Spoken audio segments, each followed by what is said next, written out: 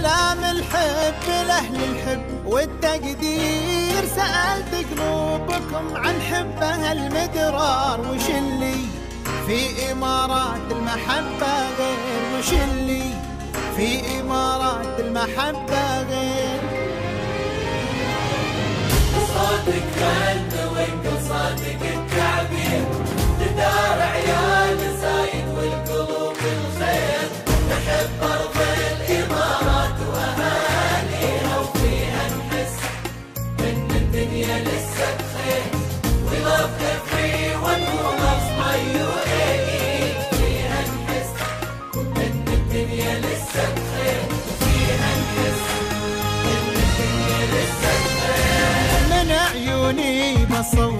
صادق الإحساس.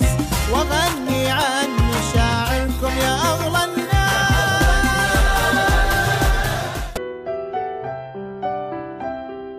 أعزائي المشاهدين أهلا وسهلا بكم في حلقة جديدة من برنامجنا استثمارات الإمارات والتي نستضيف فيها السيد عمر الحداد المالك والمؤسس لشركة شاكوش المقاولات العامة. أهلا وسهلا بك سيد عمر. حياكم الله في شركة شاكوش المقاولات العامة ونرحب فيكم وأشكر تواجدكم معنا. في البداية سيد عمر يسعدنا نحن وكذلك المشاهدين أن نتعرف على شخصك الكريم وأن تحدثنا عن الشركة وما هي مراحل التأسيس وطبيعة الخدمات التي تقدمها. في البداية أحب أعرفكم على نفسي. أنا عمر الحداد. أعمل في مجال المقاولات من عام 2015 في البداية كان اسم الشركة فاست تيم للصيانة العامة وتعني الفريق السريع للصيانة العامة. في بداية عملي في مجال المقاولات كنا نشتغل على الأبنية أو المشاريع اللي نقدر نقول عنها البسيطة أو الصغيرة. آه، كنا شغالين على شغل آه، بناء استديوهات آه، ملاحق سور خارجي آه، مثل الأعمال الصغيرة بالإضافة إلى أعمال الصيانة والترميم.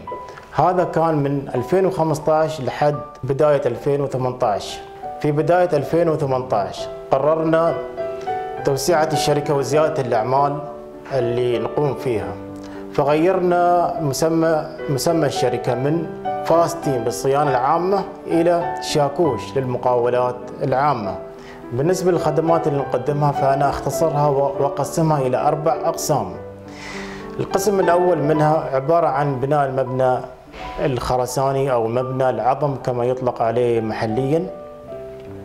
والأعمال المرتبطة بهذه الخدمة يكون عبارة عن أعمال حفريات وأعمال ردم وأعمال فحص التربة وأعمال ال duct وأعمال النجارة والحدادة وال concrete ومثل هذه الأعمال.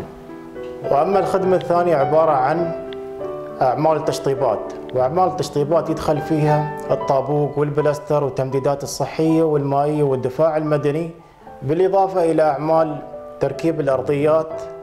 الأرضيات بأنواعها من آه، من حجر سيراميك آه، باركيه رخام أي نوع من ال- الأرضيات بالإضافة إلى أعمال الدهانات والصبغ الخارجي والداخلي. آه، وأما الخدمة الثالثة عبارة عن خدمات ما بعد البيع أو خدمات ما بعد التسليم المبنى. الخدمة هاي عبارة عن صيانة مجانية لمدة سنة. في شركة شاكوش مددنا المدة هاي وبشكل مجاني 100 من 100 لمدة سنتين. وأما الخدمة الرابعة فخدمة مجتمعية ونقدمها بشكل مجاني للمجتمع. والخدمة عبارة عن زيارة ميدانية لمواقع العمل. وتقييم الأعمال المنفذة وتقديم تقرير مصور وتقرير يعني آه، يبين حجم الأعمال وتقييم الأعمال المنفذة في الموقع ويتم تقديم التقرير هذا إلى المالك. وفي حال وجود أي خلافات ما بين مالك ومالك المبنى أو المقاول أو المكتب الاستشاري فندخل كرأي حيادي في هذه المسألة. ممتاز. آه، دايما في التقدم والمزيد سيد عمر. لكل مشروع تحديات وعقبات ما هي التحديات والعقبات التي واجهتكم في البداية؟ في بداية إنشاء الشركة كنا نواجه بعض التحديات. الطبيعية حالها حال أي شركة ثانية في السوق. التحديات كانت صعوبة الحصول على مشاريع. حيث أن الشركة كانت بداياتها وجديدة والاسم غير معروف في البداية. بالإضافة إلى تحديات أخرى مثل آه توظيف أو إيجاد عمالة مدربة وجاهزة بالسوق. وهذا من أصعب التحديات. تمام سيد عمر. طيب لو تحدثنا عن نوعية المشاريع التي قمتوا بتنفيذها من خلال شركة شاكوش للمقاولات العامة. في شاكوش المقاولات العامة. نفذنا بناء مجموعة مشاريع. أغلبها مشاريع سكنية وخدمية. بالإضافة إلى شاركنا في بناء برج تجاري دبي جريك في دبي في سنة 2018 كما تعلم سيد عمر أن هناك منافسة بين الشركات في مختلف المجالات. نعم. كيف حافظتم على تميزكم؟ دائما جو المنافسة يعطي طاقة إيجابية وجو للعمل وزيادة في الإنتاجية ويجعل أي شركة تتنافس تقدم الخدمة الأفضل خدمة أفضل سعر أفضل خدمات أفضل مهما كانت وما يميزنا في شركة شاكوش المقاولات العامة تنفيذ الأعمال حسب أصول العمل الفنية والهندسية بالإضافة إلى تسليم الأعمال حسب. حسب الجدول الزمني لكل مشروع بالإضافة إلى الأسعار المنافسة للسوق كل شخص وشركة طموح ما هو طموحكم المستقبلي لشركة شاكوش للمقاولات العامة؟ أنا كشاب إماراتي أطمح إلى تمثيل بلدي بشكل مشرف في قطاع المقاولات وأيضا أطمح إلى زيادة نطاق عمل الشركة حيث أن يغطي كل إمارات الدولة سيد عمر أنت كمالك لشركة مقاولات داخل إمارة أبو ظبي ما هي النصيحة التي ممكن تقدمها لشخص مقبل على إنشاء وحدة سكنية أو فيلا أو آه، برج مثلا. أنصح المقبلين على البناء. في البداية تحديد ميزانية المشروع وهذا مهم جدا. ثم التوجه إلى مكتب هندسي أو مكتب استشارات لعمل الرسومات الخاصة لل- للمبنى المراد بناء بناءه. الرسومات ومخططات وملف مواصفات خاص بهذا المشروع. ثم يتوجه المالك وهذه نصيحة. المالك يأخذ المخطط والملف المواصفات ويعرض المخططات هذه والعقود على من يثق بهم من مقاول أو مكتب استشاري لل- لمجرد المراجعة. مراجعة المخطط ومراجعة ملف المواصفات وهذا مهم جدا. حيث المشاهد أو الملاحظة المشتركة في أغلب المشاريع اللي نقوم بدراستها حيث إن ملف المواصفات ما يكون واضح بالشكل الكافي. يكون على ملف المواصفات مجموعة من الملاحظات. ملف المواصفات زائد العقد الموقع. فملف المواصفات والعقد الموقع يجب أن يكون واضح ومحدد.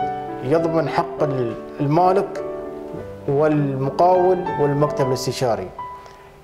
لأن بالمستقبل لا قدر الله حصلت حصل أي خلاف أو مشكلة ما بين أي طرف من أطراف التعاقد يتم الرجوع إلى العقد والعقد يكون واضح المسؤوليات وواضح البنود بشكل كامل شكرا لك سيد عمر على النصيحة لا. ولكن إحنا أوشكنا على نهاية هذه الحلقة وأعتدنا في كل حلقة نعطي مساحة مفتوحة للضيف آه، لرسالة ما أو اقتراح من خلال برنامجكم أحب أوجه رسالة شكر إلى حكومة أبو ظبي بشكل عام وإلى بلدية أبو ظبي بشكل خاص على جهودهم المستمرة والحثيثة في تطوير قطاع المقاولات حيث أن الإمارات تطمح إلى الوصول إلى رقم واحد في جودة البنية التحتية وجودة المواصفات. وهذا كله يرجع إلى جهود آه، القيادة وحكام دولة الإمارات.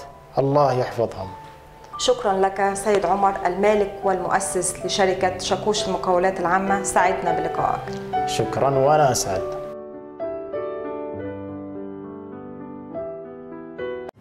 سلام يا كرام قلوبنا ودا.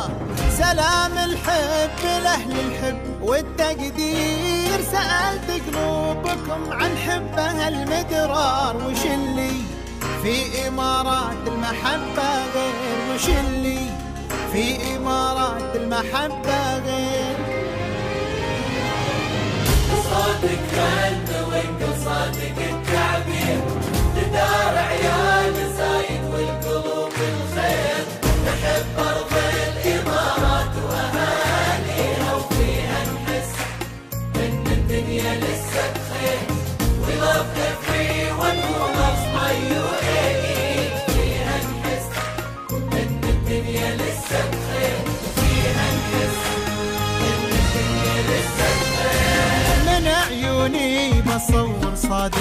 صادق الاحساس